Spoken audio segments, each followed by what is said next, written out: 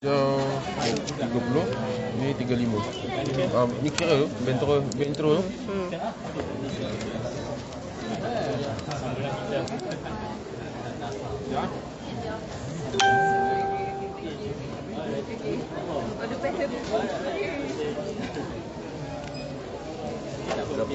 Bluetooth mode.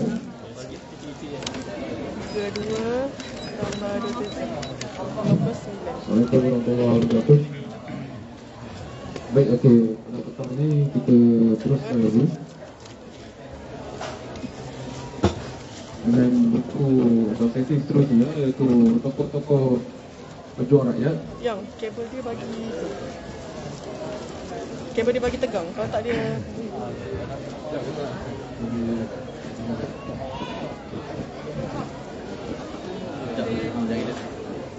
Jadi tokoh-tokoh pejuang rakyat yang diedit oleh Saudara Syed Hussein Ali, Abdul Rahman Embo dan Zikri Rahman. Jadi bersama kita pada petang ini adalah Saudara Zikri Rahman. Saya baca intro ya sebelum saya menyerahkan kepada Saudara Zikri Rahman. Buku ini ditulis dari perspektif sejarah rakyat dan mengandungi kisah-kisah individu yang pernah menyumbang kepada perjuangan kemerdekaan tanah air serta mereka yang hidup dan berjuang selepas merdeka untuk membela kepentingan rakyat demi mengisi kemerdekaan. Walaupun buku ini menampilkan sosok tokoh secara individu, namun di sebalik setiap tokoh itu ada arus politik dan sosial secara kolektif yang bergerak dan melontarkan sosok itu ke hadapan melalui gagasan dan penglibatan mereka. Tokoh-tokoh itu berjuang dalam zaman masing-masing dan dengan cara masing-masing. Ada di antara mereka sudah dikenali umum tetapi banyak juga kurang dikenali, apalagi diketahui secara mendalam. Sebahagiannya walaupun diketahui umum, peranan dan sumbangan mereka sering diremehkan dan tidak diakui dalam sejarah rasmi negara. Kebanyakan mereka sering diletakkan sebagai dengan pelbagai label seperti kiri, radikal, pengkhianat, melawan arus dan sebagainya serta berada di pinggiran dalam naratif sejarah negara kita. Kami berharap, pihak penerbit ya, berharap buku ini bermanfaat kepada pembaca pelbagai lapisan sebagai bacaan umum untuk menambah pengetahuan mengenai sejarah dan secara khusus ia digunakan oleh para pelajar dan peminat sejarah sebagai bahan rujukan dalam kajian masing-masing mengenai sejarah tanah air. Jadi sebelum saya serahkan, di tahun lepas saudara Zikri juga pernah membawa ya buku puisi-puisi Syed Zahari ya. Ha, ada di sini. Puisinya boleh juga didapatkan di Raduai Toko Buku Rakyat HA25 ini. Pada teman-teman yang hadir boleh dapatkan di sini juga buku tokoh-tokoh pejuang rakyat yang akan dibicarakan oleh saudara Zikri Rahman. Jadi tanpa membuang masa saya mempersilakan kepada beliau untuk menceritakan atau berkongsi sedikit sebanyak tentang buku terbaru terbitan Pusat Sejarah Rakyat. Salam, selamat petang kepada kawan-kawan yang hadir. Terima kasih semua. Mungkin saya perkenalkan diri dan juga uh, Pusat Sejarah Rakyat secara uh, ringkas. Uh, saya Zikir Rahman, uh, penyelaras program bagi uh, Pusat Sejarah Rakyat. Uh, Pusat Sejarah Rakyat merupakan uh, sebuah arkib uh, persendirian, arkib uh, mandiri uh, yang memfokuskan kepada uh, perkembangan sejarah rakyat uh, Malaysia dan juga Singapura dan kami memfokuskan kepada pengumpulan uh, sejarah lisan dari pelbagai latar masyarakat dan um, juga memfokuskan uh, misalnya projek akan datang kami akan melihat kepada uh, gerakan protes di Malaysia dari tahun 2007 sehingga 2022 dan juga memfokuskan kepada um, pemetaan komuniti bersama teman-teman di buku jalanan sedikit. Um, tanpa membuang masa saya terus ke uh, isi uh, secara ringkas tentang uh, tokoh-tokoh pejuang rakyat uh, bersama dengan saya uh, sebagai sebahagian daripada tim editor merupakan uh, Hussein Ali um, tokoh uh, social science dan juga anthropology Malaysia serta uh, Profesor Emeritus Abdul Rahman Nembo uh, selaku uh, editor kedua yang juga merupakan seorang um, tokoh pembangunan di Malaysia. Jadi di dalam buku ini kita dapat lihat um, kami mengumpulkan 15 orang penulis dari berbagai latar belakang bagi menceritakan tentang 27 tokoh seperti yang di uh, dikongsikan oleh Ben sebentar tadi fokuskan kepada beberapa tokoh yang tidak kurang dibicarakan di ruang lingkup sejarah di Malaysia.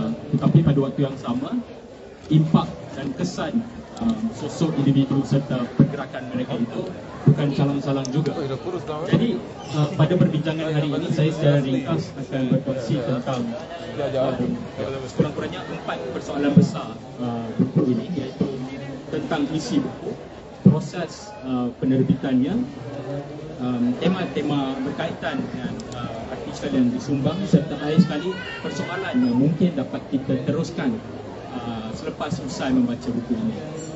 Jadi tentang buku ini sebenarnya buku ini sudah dirancang agak lama iaitu bagi memperingati 100 tahun ulang tahun Ahmad Ustamam iaitu pada 30 November 2020 lagi. Tetapi kemudiannya tertunda hampir ya dua tahun setengah kerana pandemik dan sebagainya. Jadi baru dan selamat sejahtera. ini baru selesai Perhatian uh, kepada prosesnya. pemilik kenderaan Jadi, JKR kenapa 6162 pusat 6162 sejarah rakyat Sila dalam alihkan kenderaan anda dengan penceritaan terkena. ataupun kisah-kisah ataupun penulisan berkaitan dengan tokoh-tokoh ini. Kerana kita cuba melihat ataupun merungkai satu counter narrative terhadap national historiography iaitu historiografi tandingan terhadap um, persejarahan dari perspektif uh, nasional. Tetapi pada waktu yang sama mereka mereka ini tidak menyumbang kepada perkembangan nasion ataupun negara itu bukan. Tetapi malah ia melangkaui dari uh, perspektif sedia ada. Dan itu yang akan saya kembangkan uh, di dalam uh, uh, sepanjang uh, perkongsian ini. Kemudiannya di dalam uh, buku ini juga kita dapat lihat ada 27 tokoh seperti yang saya nyatakan tadi meliputi uh, mereka dari Borneo, Sabah dan Sarawak, orang asal di sana serta kaum minoriti misalnya uh, kaum India dan juga uh, wanita yang turut menyumbang kepada perjuangan rakyat uh, pada hari ini. Tapi pada waktu yang sama di dalam buku ini ketika saya awal-awal ketika, ketika kami sama-sama menggarapkan isi buku ini kami membayangkan ia bukan saja untuk melangkaui uh, national historiography itu sebagai pemula tetapi juga dalam usaha untuk melihat bahawa bagaimana jaringan mereka yang terlibat di dalam uh, gerakan sebegini misalnya bila kita melihat tentang kemerdekaan negara misalnya ketika pembentukan Malaya ketika itu ia bukan hanya melibatkan Malaya tetapi juga Indonesia Raya misalnya. Bagaimana perkara-perkara ini kemudiannya dimasukkan di dalam buku kita pada hari ini. Dan kepada um, isu yang seterusnya selepas saya bincangkan sedikit sebanyak tentang uh, isi buku itu kita berbalik pada proses um, seperti yang saya nyatakan ada 27 tokoh oleh 19 penulis. Jadi ia merupakan beberapa eceran tulisan daripada blog uh, tulisan akademik yang kemudian dipopularkan dan juga sumber-sumber yang kita dapat daripada buku ini adalah daripada artikel sendirian ataupun memoir yang tidak pernah diterbitkan misalnya. Misalnya di sini kita dapat lihat um, saudara Tan Kahi uh, mungkin ramai yang kenal dia sebagai seorang tokoh besar Hi-O Enterprise tetapi pada waktu yang sama beliau sendiri adalah seorang tokoh besar bersama dengan uh, Parti Buruh ketika itu. Dan juga misalnya uh, Tajuddin Kaha dan juga uh, Abdul Hadi Haji Hassan. Itu merupakan beberapa tokoh yang saya fikir tidak cukup dibicarakan. Dan di dalam buku ini kita dapat lihat beberapa memoir yang tidak pernah diterbitkan tetapi diberikan manuskripnya untuk kami terbitkan di dalam ini. Dan selain daripada itu um, kita juga ada penterjemahan.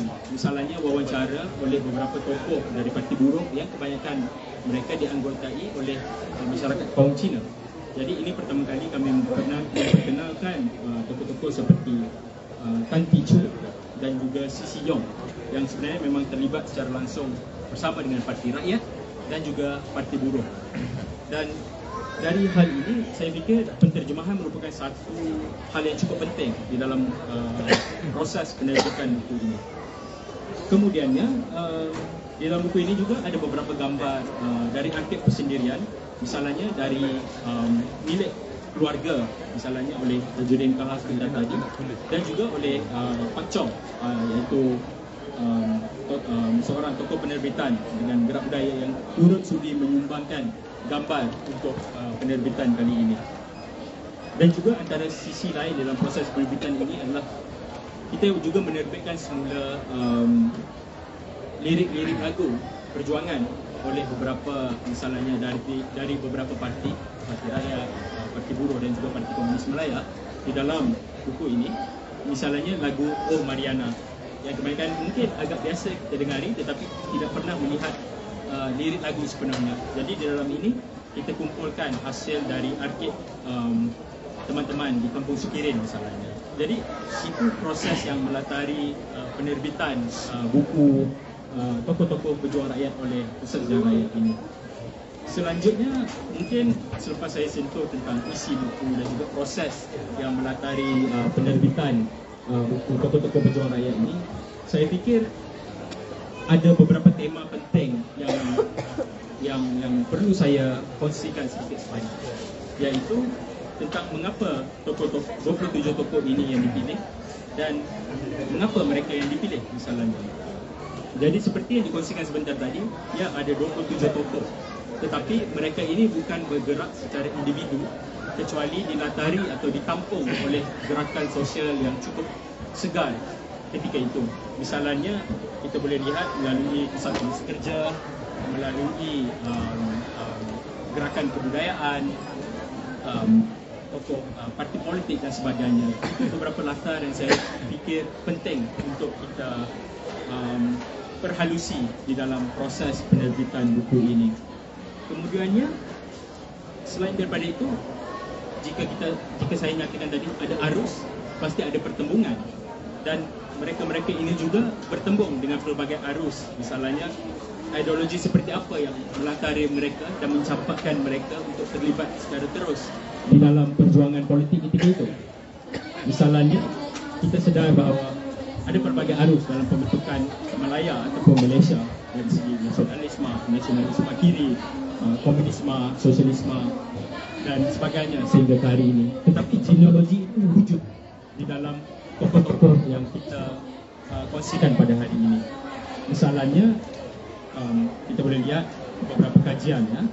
Misalnya dalam Origins of the Malay Communist Party Oh, ada yang mengatakan bahawa oh Komunis Parti itu dari misalnya dari um, Kuomintang dari Taiwan yang membawakan ideologi itu tetapi ada naratif tandingan yang mengatakan bahawa oh itu sebenarnya dari mereka terbuka dengan um, ideologi anarkisme misalnya dan selepas itu bagaimana ideologi itu bermutasi um, membesar dan sebagainya. Dan bagaimana ia kemudiannya um, seperti biji benih dia dia subur di, di anak masing-masing.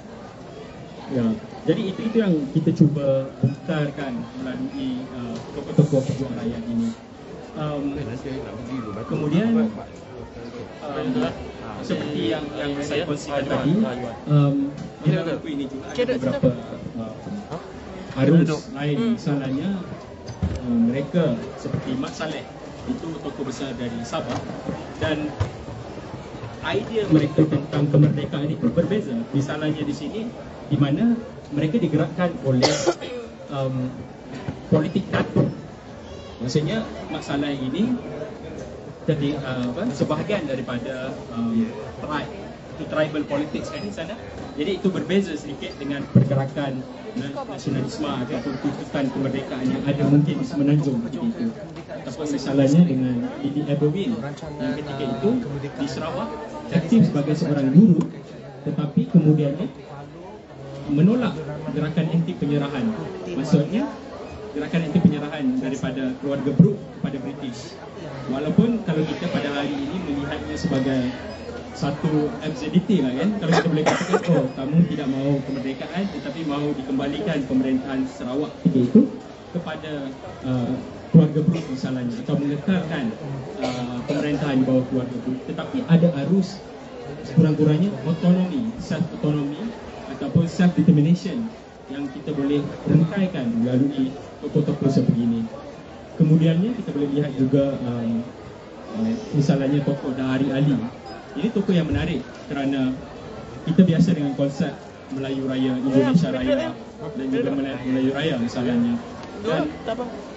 dah hari-hari ini setidak-tidaknya memang terlibat di dalam kedua-dua proses pergerakan uh, kemerdekaan di dua negara, Indonesia dan juga Malaya ketika itu. Jadi kalau kita rangkumkan mereka ini sebagai hanya tokoh-tokoh pejuang kemerdekaan misalnya tidak mencukupi kerana idea dan juga praktik mereka itu transnasionalisme melangkaui negara bangsa yang ada ataupun yang belum ada ketika itu. Jadi ini yang kita cuba rangkumkan melalui uh, buku tokoh-tokoh pejuang rakyat.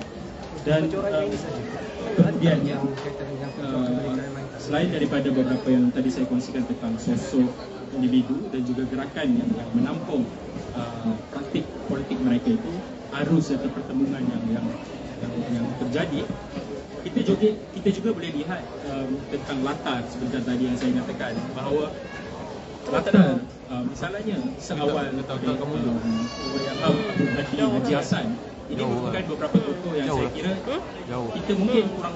Arif kurang tahu misalnya Abdul Hadi Haji Hassan ini merupakan Tidak. seorang guru lah. di uh. Sultan Ismail College komen di. Tanjung Tu Balin hari tu Rosli cakap Dan sesi Syazri kita beliau tak dengar. merupakan Sebab dia guru cakap, pada Harun dia Rashid dan juga Ibrahim Haji Yaakob misalnya tetapi um, peranannya ketika itu untuk menyebarkan atau mencetus atau impetus kepada um, idea Melayu Raya ketika itu kurang um, di, di, digagaskan. Jadi di dalam buku ini kita cuba untuk mengedepankan peranan mereka selaku bukan sekadar bukan sekadar tokoh sebagai individu tetapi tokoh sebagai idea dan juga gerakan yang yang digerakkan oleh mereka ini. Dan kemudian tadi um, saya saya fikir di dalam uh, ruang lingkup yang ada pada hari ini saya rasa agak menarik sebab kita di dalam pesta buku dan tokoh-tokoh pejuang rakyat yang ada pada hari ini tidak asing dengan dunia perbukuan. Bagaimana melihat jaringan uh, pengetahuan itu dibina oleh mereka. Misalnya saya rasa itu beberapa perkara yang yang sebenarnya menarik. Misalnya ya tadi saya sebut tentang Abdul Hadi Haji Hassan dia merupakan seorang guru dan juga sebenarnya buka kedai buku juga di um, Tanjung Malin dan ketika itu antara buku yang yang diletakkan di kedai buku itu adalah um, judulnya saya lupa tetapi berkaitan dengan gerakan mahasiswa Indonesia di Belanda. Dan ketika itu British menyedari buku apa yang diletakkan di kedainya dan British memintanya untuk menghapuskannya. Jadi itu peranan buku di dalam perkembangan idea um, uh, beberapa tokoh misalnya oleh Abdul Hadi ini. Tapi kemudiannya turut yang menarik saya fikir uh, oleh Tan Ticu seorang uh, ahli parti buruh di. Pulau Pinang. Dan seorang sebenarnya yang yang yang menarik kerana Dia terlibat sebagai salah seorang yang menyalin beberapa manifesto tulisan yang berkaitan dengan ideologi politik sini, ya. ketika itu dan peranannya walaupun dia sendiri agak um, merendah diri tetapi kita merasakan um, peranannya uh, bersama parti buruh di Penang ketika itu sangat penting iaitu pada malam hari dia mempunyai satu mesin uh, salinan dan akan menyalin um, artikel uh, um, karya-karya sastra misalnya Lusyun dan sebagainya untuk disebarkan kerana mereka parti buruh ketika itu mempunyai uh, misalnya kelas malam. Untuk bukan sahaja mempelajari tentang ideologi tetapi juga tentang bahasa um, Melayu ketika itu. Itu merupakan beberapa peranan yang saya fikir penting dan mungkin jarang di, disebut di dalam uh, perkembangan uh, politik negara ataupun nasional kalau saya boleh katakan begitu. Dan seterusnya uh, ya itu sebentar tadi tentang latar selain daripada mereka yang turut terlibat dengan dunia buku dan sebagainya tetapi beberapa peristiwa penting uh, yang berlaku sepanjang dalam kita apa, menyusun beberapa tokoh ini juga adalah kita perlu sedar bahawa wujudnya. Misalnya apa kesan uh, revolusi budaya di China uh, pertengahan tahun 60-an kepada gerakan politik di sini? Dan perkara-perkara ini direkam di dalam buku ini. Misalnya Parti Buruh ataupun uh, Front Sosialis ketika itu mereka berdepan dengan satu persimpangan. Lebih kurang pada tahun 65 mereka memilih okey ada yang terlibat dengan gerakan um, extra parliamentary maksudnya tidak terlibat secara langsung dengan uh, apa politik pengundian yang memilih jalan lain kerana terpengaruh dengan uh, revolusi kebudayaan di sini itu. Dan juga selepas itu kita boleh lihat latarnya itu perang dingin yang cukup panjang sekaligus memberi kesan kepada bagaimana um, sesetengah ideologi itu dipandang enteng ataupun dipropagandakan sebagai anti-national misalnya. Dan itu yang yang saya fikir turut dimasukkan di dalam buku ini kalau kita? Perhati uh, beberapa tokoh yang ada di dalam uh, buku ini. Kemudian mungkin saya terus ke um, di, di akhir uh, perkongsian yang ringkas ini adalah tentang persoalan. Seperti apa cita-cita politik mereka ini semua sebenarnya masih wujud uh, pada hari ini di dalam masyarakat kita pada hari ini. Dan seperti seperti apa jaringan ilmu itu masih kekal. Misalnya saya sebutkan tadi tentang penterjemahan yang berlaku. Ataupun kelab-kelab buku yang ada. Pembacaan dan sebagainya. Itu yang saya fikir penting untuk kita peralusi dalam buku ini. Dan juga yang terakhir adalah persoalan genealogi. Ideologi itu sendiri. Maksudnya susur gardu ideologi yang ada.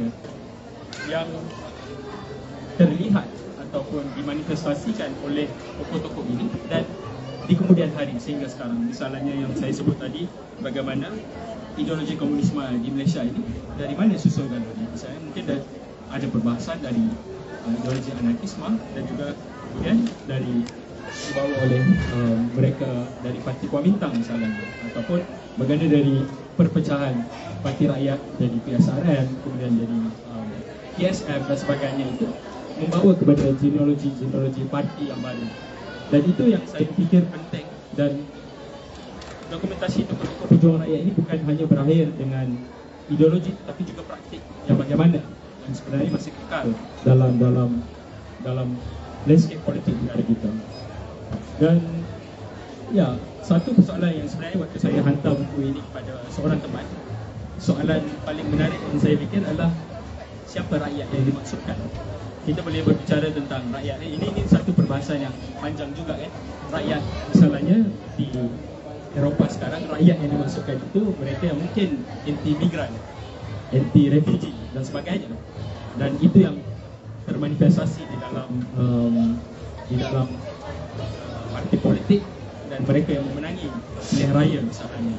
Dan itu itu yang yang yang boleh kita bahaskan juga. Tetapi sekurang-kurangnya di dalam um, konteks rakyat di dalam buku ini saya fikir ia berkaitan dengan isu yang dibawa oleh mereka dan bagaimana mereka meletakkan diri mereka sebagai sebahagian daripada masyarakat kita ini dan itu yang kita dapat lihat dari pancaran ideologi yang ada dari sosok-sosok rakyat. Dia tidak semudah untuk mengatakan bahawa oh, jika beliau bersama dengan parti rakyat terus bersama dengan rakyat ataupun uh, parti sosialisme terus dengan rakyat itu bukan semudah itu tetapi apa yang menggauli mereka dan saya fikir perbahasan itu tidak akan selesai hanya dengan buku ini tetapi kita perlu lihat um, beberapa buku lain yang mungkin boleh menampung uh, pembicaraan pembicaraan tentang apa itu idea ataupun um, yang, yang yang menampung idea tentang rakyat itu sendiri. Ya. Kemudian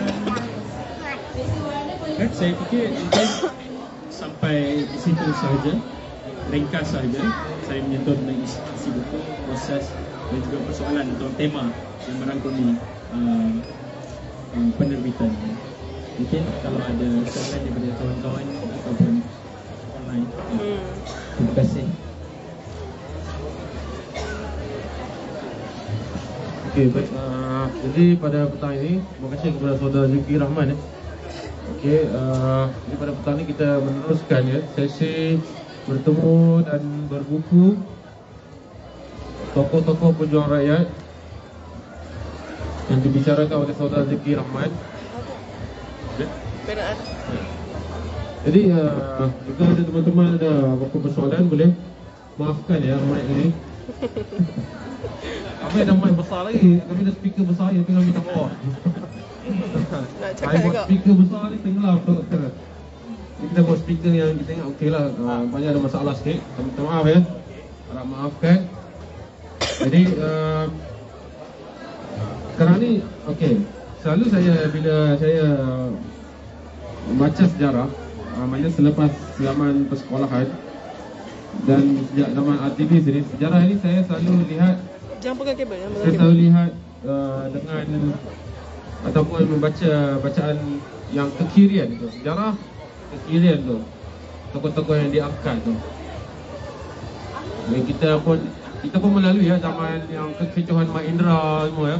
Banyaknya kekirian tu. Tapi sekarang sudah ada satu gelombang sejarah yang kekananan tu. Hai, dengan menyangsikan kefeudalan, maknanya ada yang menyangsikan, ada sejarawan yang menyangsikan kita ni berada pernah ada alam feudal. Hai, uh, maka ada juga kritikan terhadap Syekh Hussein Ali ya bahawa katanya dia bukan sejarawan. Dia antropologis. Ya, jadi dia bukan sejarawan.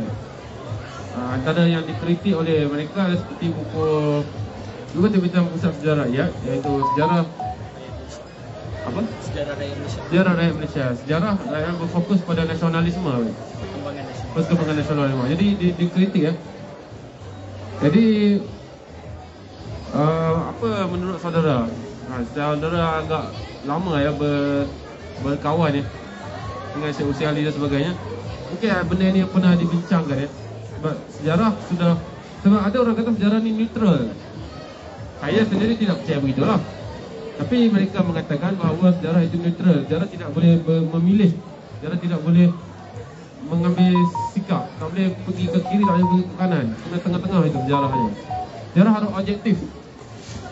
Ha, tapi kalau kita baca tokoh-tokoh bujar rakyat, baca Syed Zahari, baca pusat sejarah kita tahulah kecenderungannya ke mana. Kecenderungannya ke kiri lah. Ha, jadi bagaimana saudara dalam hal ini? Ataupun mungkin ada pernah berbincang dengan Syed Hussein Ali dalam persoalan ini?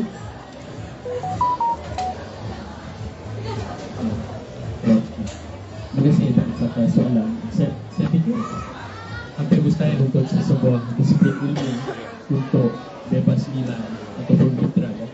Sebab keberpihakan itu pasti wujud. Misalnya dalam semudah sejarah itu kan. Sejarah kita perlu ada sumber seperti mana disiplin ilmu yang lain dan misalnya sumber ilmu itu kita boleh gagaskan atau boleh kita bukakan daripada misalnya mungkin dari penulisan ini adalah dari arkib tetapi sebagai sebanyak mana arkib nasional atau arkib negara ini mempunyai kisah tentang mereka-mereka ini semua? Jadi di situ kita boleh lihat bahawa perlu ada tandingan sekurang-kurangnya terhadap sumber persejarahan itu sendiri.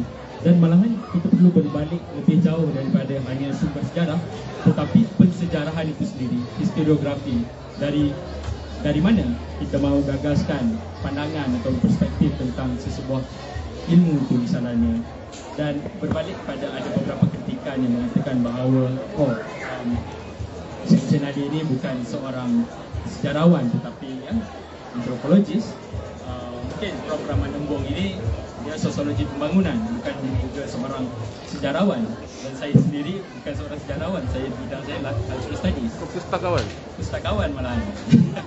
Tapi itu kan menarik sebab di mana-mana di mana-mana apa maksudnya? Mana-mana disiplin ilmu memerlukan sekurang-kurangnya pada saya dua. Misalnya kalau kita mahu melakukan kritik itu sejarah dan teori itu perlu kukuh ya itu sejarah itu tadi. Jadi mana-mana pun sejarah itu ada satu tunjang untuk mengatakan bahawa oh ini sumber mengalirnya sesuatu penulisan ataupun perbicaraan. Jadi saya fikir tidak ada perlu ada dikotomi malahan dalam hal ini. Cuma daripada lensa yang mana kita mahu masuk. Dan itu yang saya fikirkan uh, itu saya fikir penting. Misalnya tadi kalau kita bercakap soal sumber tidak semua arkib mampu untuk menggagaskan perbincangan contemporary misalnya perlu ada satu bacaan yang berbeza-beza.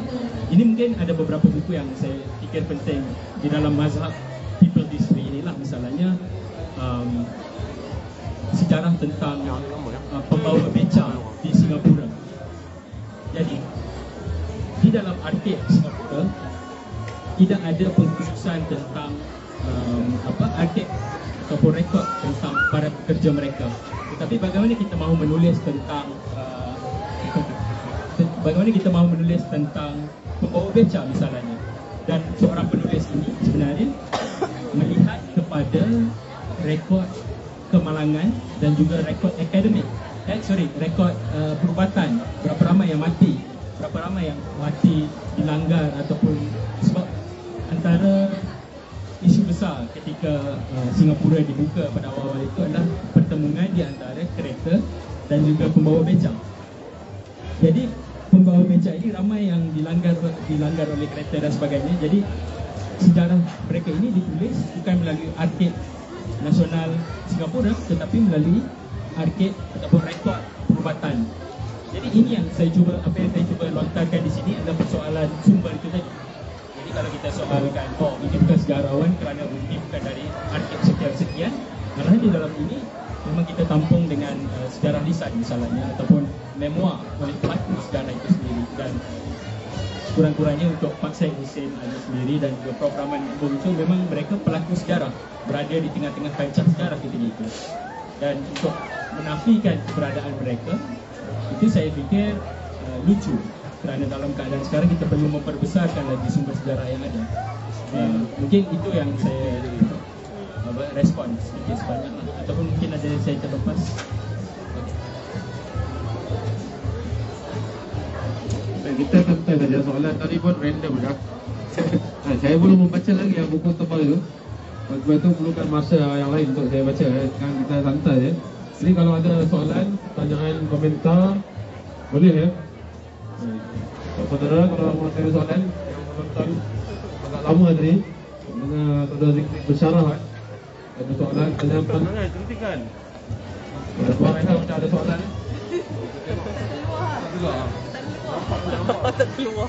Sebenarnya uh, kebanyakan yang industri hari ini sekarang ini tidak controversial sebab saya sebagai seorang yang pernah menerbitkan rancangan TV dokumentari uh, toko saya saya telah uh, pergi sendiri ke tempat yang kita cari sumber sejarah ni sebab sumber kedua yang macam dah terlihat uh, sumber kedua yang selalunya yang ada banyak POV lain yang kita jumpa contohnya macam Rosidobi dia uh, anti-fashion anti-fashion yang dia menolak British untuk menyokong uh, anti-fashion yang menolak British untuk menyokong siapa British lain. Saya rasa itu sangat kontroversi sebenarnya sebab benda tu jarang dibincangkan. Uh, dan macam uh, bila kita pergi ke Sabah, kita jumpa dengan Mak Saleh. Bila kita pergi ke Tamunan, tempat uh, kota terakhir Mak Saleh itu sendiri, kita dapat dan kita baru je bertahu sebenarnya seluruh tampunan membenci Mak Saleh. Pasal ada banyak sisi lain yang Mak Saleh tidak diceritakan contohnya dia suka mencuri orang-orang kaya suka makanan ha, sebab keterdesakan uh, perjuangan ketika itu. Uh, boleh tak uh, kita elaborate sikit uh, uh, mengapa uh, senarai ini perlu di saya rasa perlu perlu lah itu benda-benda yang tidak dibincangkan lah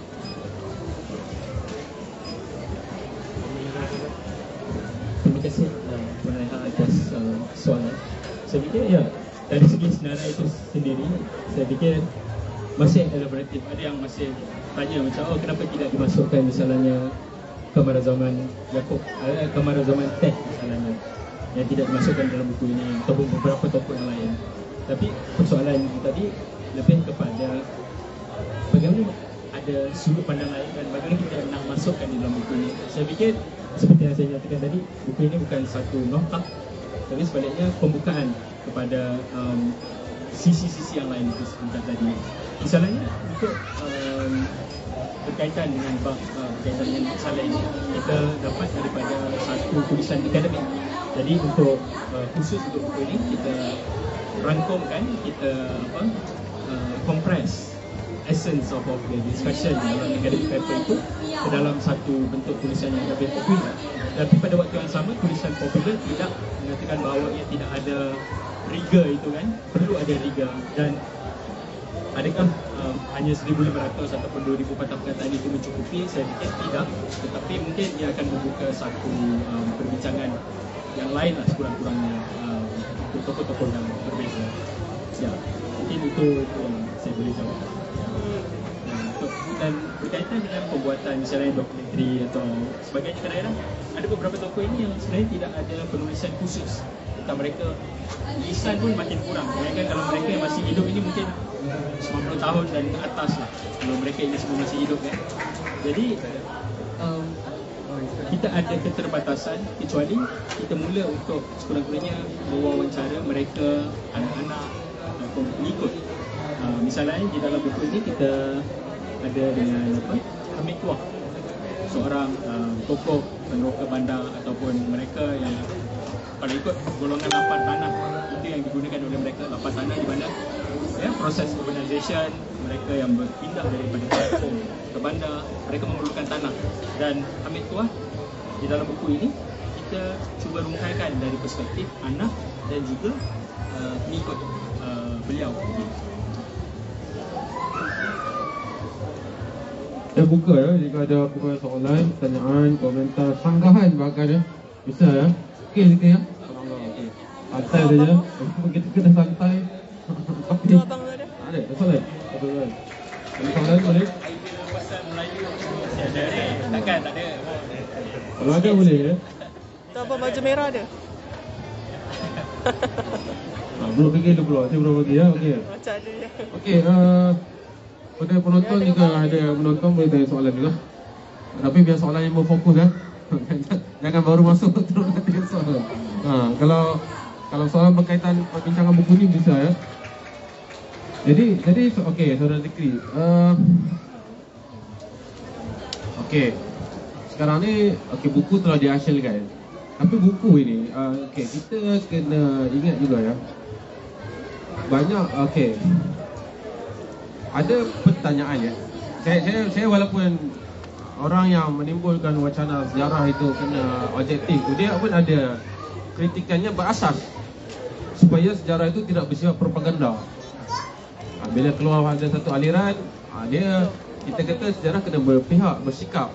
Tapi bila dia tidak ada unsur objektif juga, bagaimana kita nak memastikan itu adalah satu kebenaran tentang tentang existentialism dalam buku itu di, diceritakan tentang falsafah itu.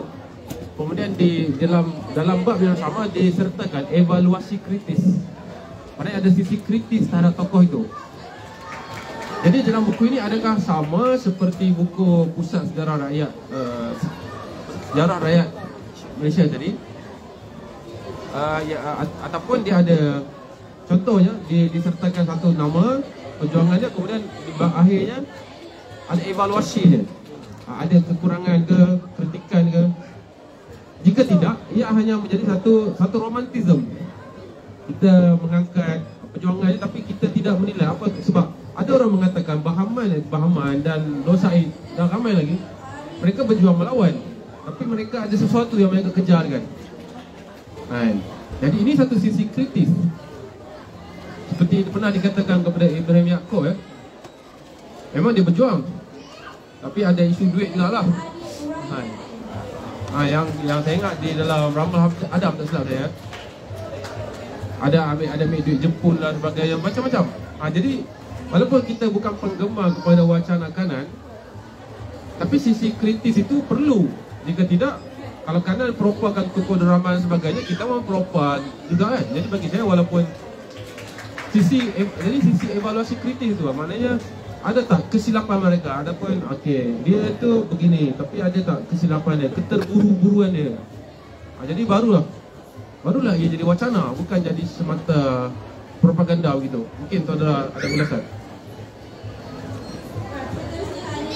Terima kasih Ben. Saya rasa ini ini soalan yang penting lah. sebab ada kecenderungan untuk penulisan sejarah yang sebegini untuk memban gemburkan atau propaganda misalnya ataupun saya mungkin kurang berminat menggunakan perkataan propaganda itu sebab apa yang tidak propaganda itu pun propaganda sebenarnya tapi itu soal lain um, berbalik tentang bagaimana kita melihat sesuatu sumber sejarah ataupun bagaimana ia diceritakan mungkin di dalam buku ini sekurang-kurangnya kita menggunakan um, sejarah lisan misalnya ada wawancara.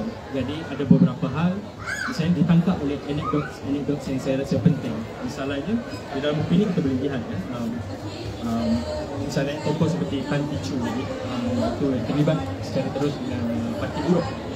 Dan ketika itu beliau sendiri mempunyai dilema di mana parti buruh ketika itu menyertai pilihan raya ataupun terlibat secara langsung dengan gerakan uh, extra parliamentary lah, di mana kita menolak terus um, sistem uh, politik pengundian tetapi memilih untuk terlibat dengan gerakan yang, lebih bersifat akar undi misalnya misalnya sabotaj dan sebagainya.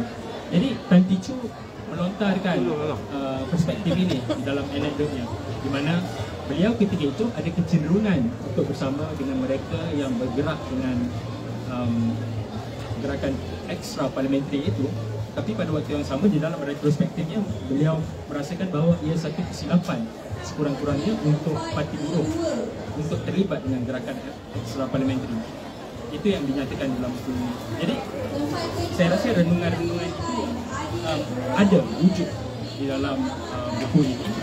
Oleh mungkin ada sedikit anekdot ataupun retros, pandangan retrospektif tentang beberapa isu. Dan mungkin itu seorang uh, uh, Tan Ticu tetapi mungkin uh, misalnya uh, Lim Kian Chai. Ini uh, Melayan Democratic Union pendiri Melayan Democratic Union. Dan dia sendiri pun mengatakan bahawa Malaysia ataupun Malaya yang dibayangkannya itu sempurna atau tidak dengan memilih untuk aktif dengan kesatuan sekerja misalnya sebagai satu gerakan politik. Adakah dia cukup atau bagaimana? Dan itu beberapa renungan yang saya fikir wujud di dalam buku ini. Dan untuk mengatakan bahawa um, misalnya sejarah perspektif kiri ataupun mazhab itu sebab saya fikir ia satu con- contestation kan? Itu satu perebutan dan naratif utama dominan di negara ini masih naratif yang sama bu- misalnya kita berada dalam UMNO lah sekarang kan tetapi ada naratif yang saya fikir menarik yang UMNO yang kurang di, dikongsikan. Tetapi dalam buku ini wujud misalnya um, tokoh seperti jangan saya lupa dalam ini. Abdul Aziz Ishak. Abdul Aziz Ishak ini tokoh yang menarik di dalam UMNO. Dia kalau dikatakan kalau dia lah yang memenangi uh, perebutan jawatan tertinggi UMNO. Ketika itu UMNO mungkin akan bersikap lebih kerana itu semangat zamannya kan? Kerana Abdul Aziz Ishak ini uh, apa, bertegang kurat lah dengan uh, uh, Rahman ketika itu misalnya soal kerana ketika itu dia Menteri Perdagangan dan dia menolak um, dominasi penjualan baja oleh beberapa syarikat besar jadi Abdul Aziz ini antara tokoh yang menarik. Di dalam um, di dalam UMNO. Jadi kita terlepas pandang. Walaupun dia ya dia naratif yang dominan tetapi ada bacaan lain yang kita kurang ketengahkan. Ya jadi di dalam ini bukan hanya sekadar kita melihat oh ini tokoh besar yang ada asosiasi ataupun terlibat terus dengan UMNO. Jadi mereka tidak progresif. Ada arus-arus itu dan itu memang arus zamannya mereka perlu bertembung dengan arus itu Jadi bantu saya, saya bukan ada soalan kan. Saya belum baca lagi ya. saya mau memahangatkan saya ya. Saya ada soalan mungkin silakan. Silakan silakan dulu boleh lalu. Lalu dulu dia kalau masuk juga sini. Cepat dulu dia. Ya, suruh di sini ya, suruh di sini. Ah, sini sikit. Oh. Uh, ya. uh, kalau kita lihat uh, sejarah uh, dekolonisasi di Asia, di Afrika dan sebagainya, memang kebanyakan pemimpin yang memimpin gerakan dekolonisasi dan mencapai kemerdekaan pre- uh, kemudiannya menjadi kerajaan yang pertama, presiden pertama ataupun perdana menteri yang pertama, kebanyakan mereka adalah dari parti parti berhaluan kiri. Misalnya parti Kongres di India ataupun di Kenya, Jomo Kenyatta dan sebagainya. Malah di Kuan Yin pun mulai parti PAP itu mulai pada mulanya pun menggunakan uh, retorik kiri sebenarnya. Jadi di Malaya atau di Malaysia ini kira yang anomali lah sebab dia kira parti kanan yang membawa kemerdekaannya. Padahal kalau dikira uh, padahal di kebanyakan negara Asia dan Afrika uh, memang presiden pertama atau kerajaan pertama uh, selalunya parti kiri. Jadi kenapa di Malaya ataupun di Malaysia uh, dia berbeza sikit haluannya. Terima kasih saudara atas um, soalan. Saya fikir ini menarik juga untuk kita lihat sebab kita perlu sedar uh, bahawa ada kelompongan dalam parti kiri itu misalnya lepas berlaku apa emergency uh, itu kan darurat kan daripada 48 sehinggalah ketika kita apa merdeka tahun 60 masih ada darurat. Jadi itu kelompongan yang wujud. Bagi jadi mereka kan? perlu mengisi tampuk pemerintahan. Dan kita juga sedar bahawa selepas 48 kebaterasan terhadap bukan sahaja parti komunis tetapi juga um, gerakan nasional nasionalisme kiri itu turut dibanteras. Mereka dimasukkan ke dalam ISA um, ya ada yang memilih untuk keluar negara berjuang di Indonesia misalnya dan ada juga yang diwujudkan kerakyatan. Misalnya oleh um, uh, saya fikir um, saya lupa namanya. Tapi ada beberapa tokoh yang memang dilucutkan keluarga, keluarga negaraan. Jadi berbalik kepada mengapa bukan parti kini saya fikir itu lompong sejarah dan juga bukan sahaja darurat itu yang mencantas segala-galanya tetapi juga yang tidak banyak dibicarakan adalah kesan perang dingin bagaimana propaganda terhadap uh, elemen ataupun ideologi kiri itu memang di, dihapuskan sepenuhnya ataupun yang sehingga sekarang ini masih boleh dijual komunisme itu dan sebagainya. Jadi saya fikir dalam hal itu memang ada kelompongan dan saya fikir ini ada satu buku yang menarik. Ini tulisan judulnya kebenaran antara ahli PKMM saya lupa nama spesifik tapi Jaafar Rahim. Jaafar Hussein Jaafar Hussein. Jaafar Hussein ya. Jaafar Hussein ada satu memoir yang menarik. Dia kata ya, semua memang dicantas gerakan yang ada. Tapi kita ada empat tiga atau empat cara. Satu masuk ke hutan uh, meninggalkan politik sepenuhnya atau masuk UMNO dan apa yang kita lihat ini ada manifestasi. Itu ada yang kekal di dalam UMNO tetapi sehingga mana bagaimana mereka mahu meneruskan perjuangan di dalam UMNO selepas kita melihat evolusi parti itu sendiri kan, sehingga sekarang dari ya, parti apa, kanan kanan kanan tapi ada kecenderungan itu.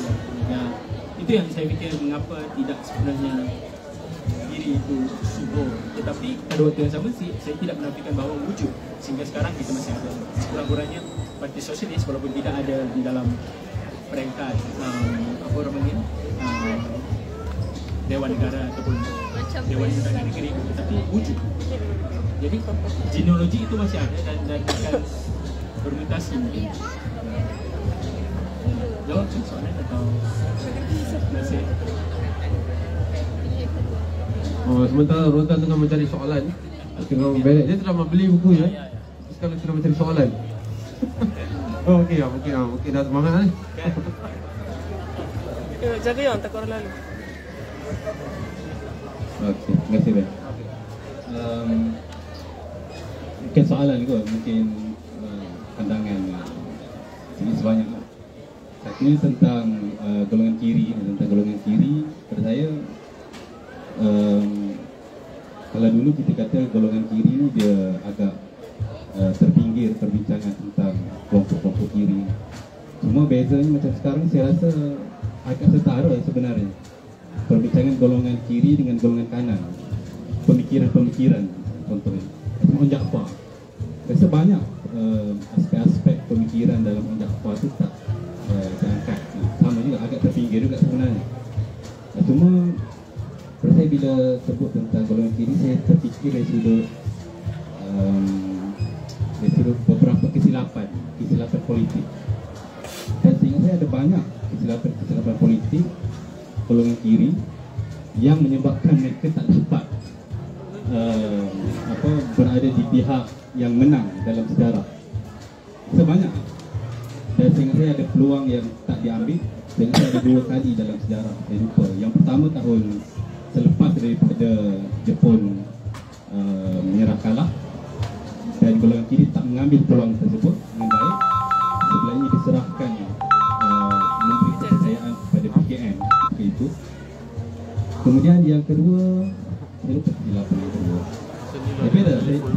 kesilapan ada so, kesilapan. Kita tengok balik. Jadi pada saya ada beberapa dan kesilapan ini pasti perlu di perlu dibincangkan sebab kita tak nak kita bersikap romantis terhadap satu kelompok dan menafikan akan adanya kelemahan-kelemahan. Contoh dalam saya ingat Ahmad Adam ada sebut tentang uh, buku dia tentang nasionalisme tentang nasionalisme dan negara bangsa buku yang warna merah tu. Dia ada sebut satu perkara yang saya rasa menarik untuk kita bincang tentang uh, pada tahun kita kita angkat uh, perlembagaan rakyat. Tapi Ahmad Adam mengkritik perlembagaan rakyat yang mengatakan sebenarnya golongan kiri tak bersedia sebenarnya untuk perlembagaan tersebut. Dan perkara ini menarik dan perkara ini menarik untuk kita bincang dengan lebih mendalam sebenarnya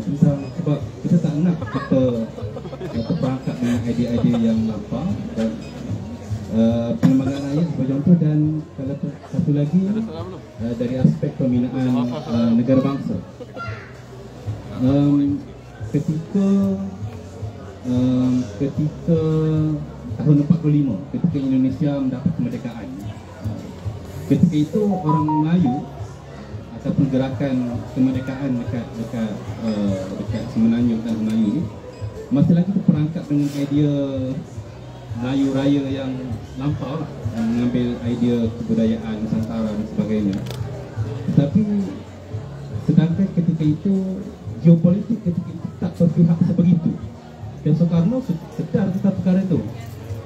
Soekarno sedar tentang um, kemungkinan-kemungkinan bahawa sini memang kita tak boleh lagi kembali seperti mana zaman dulu Soekarno sedar sekali tapi malang sekali dekat kita di, di, di Tanah Melayu, di Malaya ketika itu kita masih lagi mengimbau kenangan lama uh, dan mengabaikan faktor geopolitik ketika itu yang memang sebenarnya memang um, idea gagasan ke arah pembentukan negara bangsa itu hanya uh, dipecah-pecahkan itu. Memang kita tak akan kembali pada zaman uh, sebelum kita uh, perjanjian uh, Inggeris Belanda. Kita tak dapat kembali ke zaman itu. Tapi malang sekali ketika itu Burhanuddin, Dr. Burhanuddin uh, masih lagi mengimbau dengan idea Melayu Raya dan sebenarnya ditolak oleh Soekarno.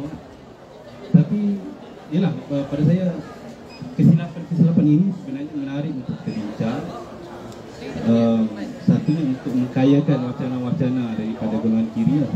Cuma kalau saya, saya kata um, saya dah uh, berada pada satu peringkat yang uh, untuk membentuk satu bangsa yang ada identiti yang yang yang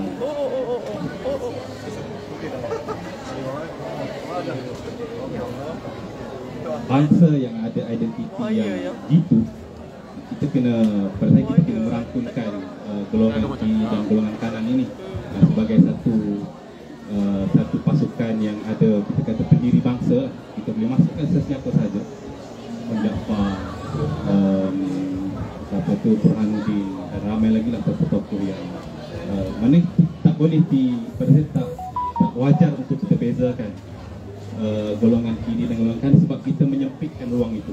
Sebab itu kalau golongan kiri uh, apabila dia mengangkat satu uh, satu jalur dan menidakkan uh, menidakkan kita kata sumbangan daripada satu jalur yang lain dan akhirnya yang sampai kepada kita hari ini adalah hanya sikit saja yang sampai kat kita. Ini yang yang berlaku dalam dalam uh, kita punya pendidikan, sejarah, uh, politik dan sebagainya. Kita kita meminggirkan sehingga kan akhirnya yang sampai kepada kita kita dah tak kenal lah siapa. Sabar pun kita dah tak, tak kenal. Ramailah pihak-pihak yang kita kenal. Ini uh, pandangan secara umum. Kiri, ah, kiri bos. Dekat kiri Darul. Mungkin uh, Zikri yang nak komen tambahan. Uh, terima kasih Encik. Saya fikir ya satu renungan yang baik pastinya sebab ya dikotomi apa kiri atau kanan malah di sini pun kalau kita melihat ya mereka yang disenaraikan dan terlibat dalam proses ini sebenarnya mereka yang tidak terlibat hanya di dalam kutub politik kiri seperti yang saya mengatakan tadi besar cuma arus yang bagaimana yang apa mengarah mereka ke arah mana ketika itu dan memang itu zamannya lah kan kalau kita boleh katakan begitu dan berbalik pada persoalan negara bangsa itu sendiri saya, saya fikir mungkin uh, Pak Said dan juga Prof. Rahman Abu sendiri saya fikir itu idenya memang mahu membentuk idea dengan bangsa dan sebagainya tetapi pada saya sendiri malah saya mungkin tidak sepenuhnya bersedap, bersependapat dengan mereka tentang idea negara bangsa sebab negara itu sendiri bukan satu yang tuntas. Bangsa itu sendiri malah bukan sesuatu yang tuntas. Jadi 35 ini saya nyatakan kerana misalnya kalau sebut tadi geopolitik. Uh, sempadan itu sendiri sekarang masih banyak lagi pertemuan dan perebutan wilayah masalahnya. Dan ia tidak pernah selesai dan juga misalnya apa yang berlaku di Myanmar hari ini bukan ya, mau melawan junta tetapi model negara seperti apa? Negara saya nyatakan secara loose. Mereka sudah menolak misalnya bentuk negara sedia ada banyak jual eh. Ada kecenderungan ada ada ada kemungkinan ia mengambil bentuk confederalism. Itu satu bentuk. Yang sebenarnya malahan dibicarakan oleh mereka-mereka ini misalnya. Misalnya kalau di dalam buku uh, Sunin um, tentang Bay of Bengal dia melihat bagaimana ketika itu beberapa tokoh seperti Nehru dan sebagainya itu menggagaskan idea oh untuk kita kemerdekaan mencapai kemerdekaan bukan sekadar negara bangsa tetapi confederalism itu. Dan itu yang sebenarnya saya fikir ada arus-arus bentuk masyarakat atau bentuk tatanan uh, pemerintahan yang, yang kita boleh bungkaikan lagi. Dan yang seperti saya sebut tadi itu yang paling dekat lah dengan kita Myanmar sekarang sebab kemungkinan untuk mereka berdamai dengan junta itu hampir mustahil. Dan ada kecenderungan untuk negaranya itu memang dipisah dua. Dimiliki oleh junta dan uh, mereka yang mahu pembebasan. Jadi bila kita bercakap tentang negara bangsa itu sendiri saya kira tidak cukup hanya dengan kiri ataupun kanan ataupun UMNO sebagai peneraju tetapi bagaimana masyarakat sesungguhnya dan berbalik kepada mereka tokoh-tokoh ini sebagai pembawa idea misalnya sejauh tahun 70-an 60-an lagi orang seperti V. David ini berbicara tentang gaji minimum. Bersama Abu Palan ini berbicara tentang perlunya gaji setara untuk semua tidak kira lelaki atau perempuan. Dan hal itu sehingga sekarang dah menjadi sekurang-kurangnya wacana mainstream dan orang seperti Gana Pati dan Bila Sinan ini ah, lebih awal lagi. Mengatakan bahawa 8 hari eh sorry 8 jam sehari bekerja. Dan itu yang diutarakan oleh mereka dan kekal relevan sehingga hari ini. Dan saya fikir ya misalnya persoalan tentang apa namanya Hamid Tuah misalnya. Minggu lepas baru kita tahu ada kampung yang diambil. Oleh kerajaan negeri, kerajaan pusat dan sebagainya. Jadi perjuangan Hamid Tuah ini tidak berhenti hanya dengan di, di kampung-kampung pada zaman ini, tetapi sehingga hari ini masih kekal. Ya. Jadi itu sekadar menambahkan. Terima kasih. Baik, kita sudah menghampiri jam pukul uh, 5 Jadi kita ambil soalan terakhir Pada Bang Rozan, kita tak sabar-sabar nak tanya soalan ha, okay. Bagi Bang Rozan dia soalan Okey, terima kasih saudara Ben. Uh, 10% diskaun. Saya betul uh, saya telah membeli buku ni tapi belum lagi mula menelaah.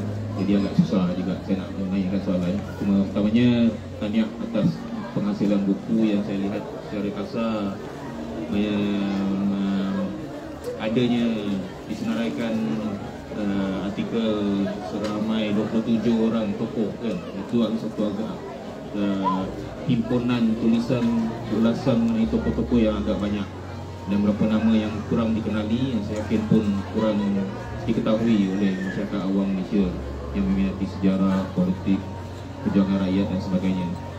Uh, Okeylah, uh, so- soalan pertama saya uh, tengok, Dua. tengok idea soalan yang akan datang.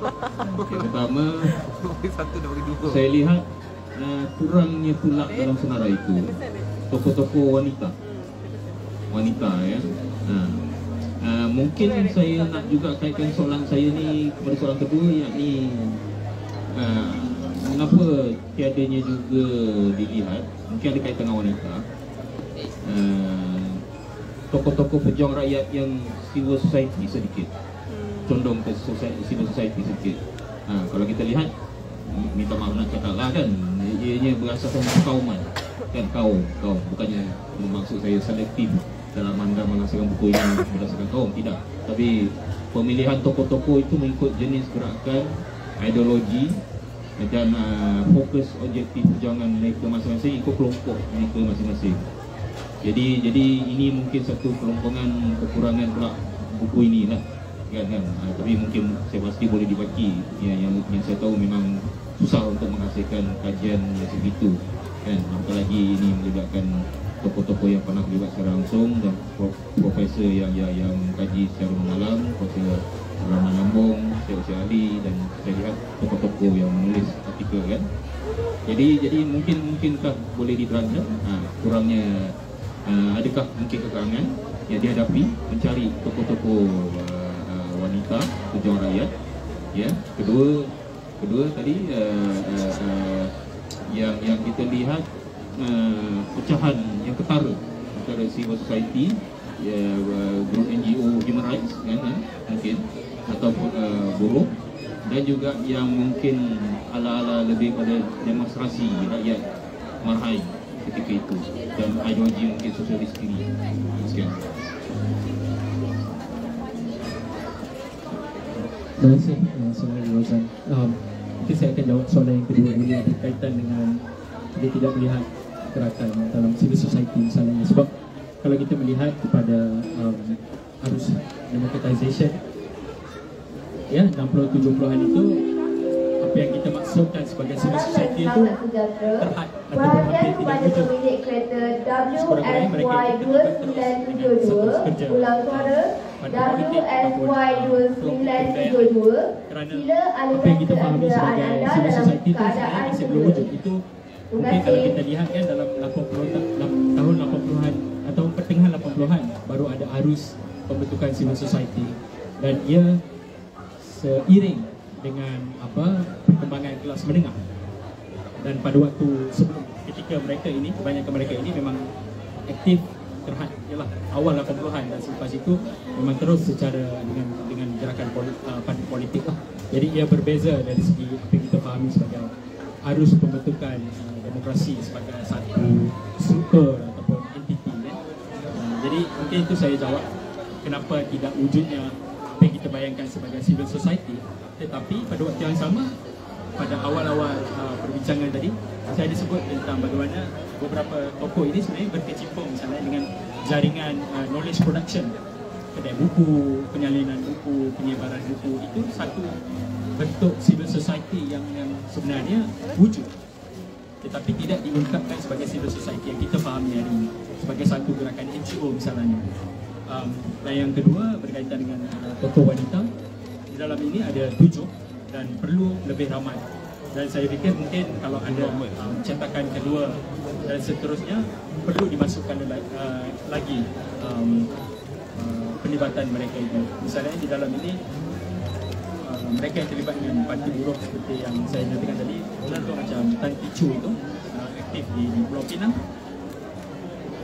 mengapa dia berada di sini adalah kerana proses penterjemahan yang berlaku di dalam uh, proses penerbitan ini di mana wawancara dilakukan sepenuhnya di dalam bahasa Mandarin dan diterjemahkan uh, dalam bahasa Inggeris dan Melayu. Jadi ada beberapa lapisan dalam penerbitan ini. Dan juga uh, misalnya tentang uh, Lily Edwin tadi seorang tokoh guru di Sarawak seorang guru di sana dan masih kurang catatan tentang dia tetapi Sekarang you dah lebih 100 apa kan yang dapat. berlaku selepas Lily Edwin Kalau ini ni dia membuka pintu kepada ramai uh, tokoh-tokoh politik wanita di Sarawak. Ya, jadi dalam buku ini ada dibicarakan sebanyak tentang beberapa tokoh. Yang misalnya yang ini Tapi kena tambah sikit lagi. Siti Nur Tiang Mahmud tambah lagi Itu 30. beberapa tokoh besar yang sebenarnya mempunyai memoir mereka sendiri tapi pada waktu yang sama di dalam buku ini kita ada catatan bersama keluarga dan mereka yang tak, terlibat sama dalam perjuangan itu. Tapi ya perlu ada penambahan itu. Terima kasih. Baik, terima kasih saudara Zikri. Jadi saya ingat kita tak boleh lah bincang semua ya. Kalau bincang semua ni orang semua. Ha, kita kita apa yang dapatkan boleh dapatkan dan saudara Zikri ada.